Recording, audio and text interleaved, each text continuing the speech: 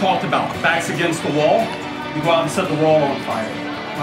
And that's what I'm talking about. So I'm looking at your guys' eyes, and I knew, I knew we were winning this thing. I don't know what to say. I mean, that's just defensive numbers were a thing of beauty.